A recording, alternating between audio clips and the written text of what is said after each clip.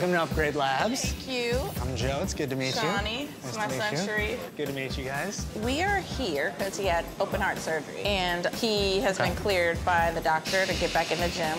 Shareef got great news from the doctor and he passed his stress test.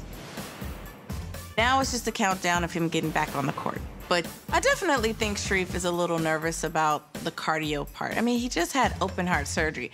I'm nervous about it. You guys are recommended to have a lot of gadgets Yeah. that can see how his wind is. You know, just me being a little Making sure he gets back being to 100%. mom. Yeah. Okay.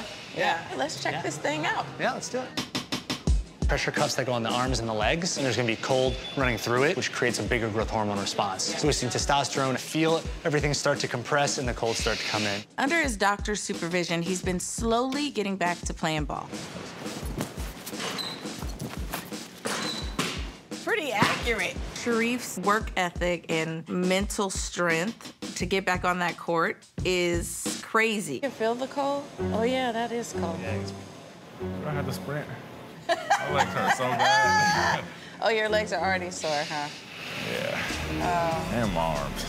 And then by the end of this, you'll know what? It's more just for the recovery aspect. You're Got doing it. it for the benefits. Got it. It's gonna Oh, help yeah. bring the inflammation down. Okay, cool.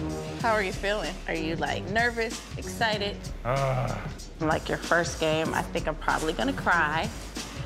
So just be ready.